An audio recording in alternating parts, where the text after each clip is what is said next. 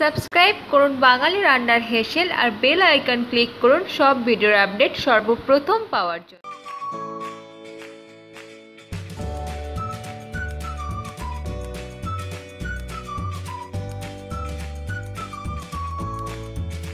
কড়াইয়ে আমি two tablespoon mustard oil দিয়ে দিয়েছি, দিয়ে খুব ভালো করে গরম করে নিয়েছি। এবার এতে দিয়ে দিচ্ছি আমি দুটো শুকনো লঙ্কা শুকনো লঙ্কাটাকে একটু ফ্রাই করে নেব।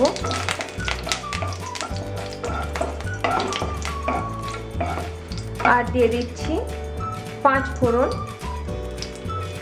শুকনো লঙ্কা পাঁচ ফোড়ন, খুব ভালো করে আমি ফ্রাই করে নিচ্ছি।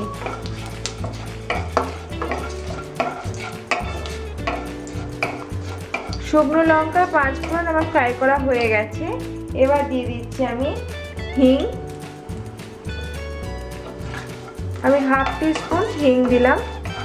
হিংয়ের একটা ভালো গন্ধ আসা পর্যন্ত আমি হিংটাকে একটু নাড়াচাড়া করে নেব তেলের মধ্যে।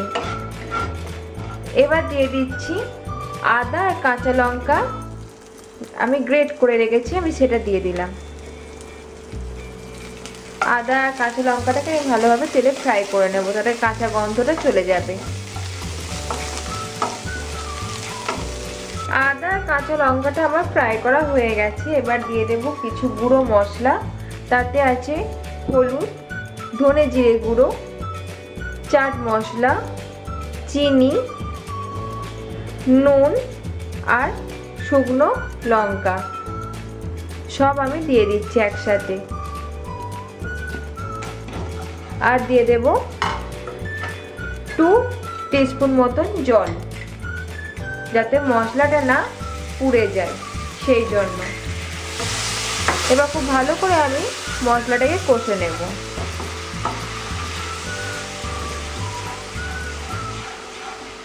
মশলাটা আমার খুব ভালো করে কষা হয়ে গেছে। এবার দিয়ে দিচ্ছি টুকরো করে রাখা আলু। আলুগুলো কিন্তু আমি খোসা শুদ্ধই কিন্তু এইরকম ছোট ছোট সাইজ করে কেটে নিয়েছি। এবার আমি দিয়ে দিচ্ছি আলু। আলুটাকে দিয়ে মশলাটাকে আমি আরেকটু কষে নেব।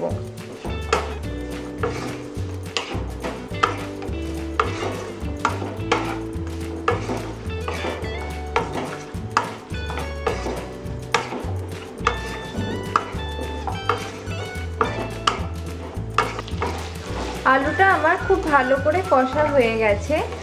সব মশলাগুলো দিয়ে। এবার দিয়ে দিচ্ছি রোস্টেড ক্রাশ করে রাখা কাসৌরি মেথি ওপর থেকে ছড়িয়ে দিলাম। আর দিয়ে দিচ্ছি একটু গরম মশলা গুঁড়ো। হাফ টিস্পুন আমি গরম মশলা গুঁড়ো দিলাম। সব ভালো করে মিশিয়ে নেব।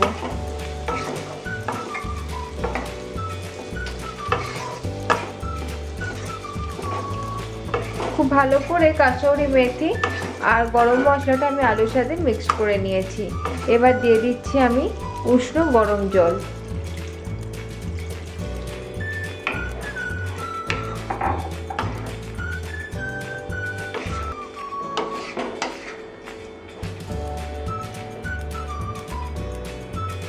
দিয়ে আমি ঢাকা দিয়ে রান্না করব 10 মিনিট, তাতে আলুগুলো সেদ্ধ হয়ে যাবে। 10 মিনিট হয়ে গেছে, আমি ঢাকাটা খুলে দিচ্ছি। দিয়ে একটু নাড়াচাড়া করে নেব। এবার দিয়ে দিচ্ছি সেদ্ধ করে রাখা মটর।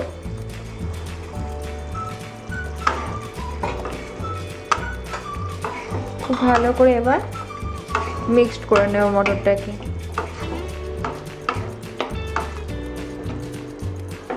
দিয়ে আমি আবার ঢাকা দিয়ে আরও পাঁচ মিনিট রান্না করব। পাঁচ মিনিট হয়ে গেছে, আমি ঢাকাটা খুলে দিচ্ছি। দিয়ে একটু নেড়াচাড়া করে নেব।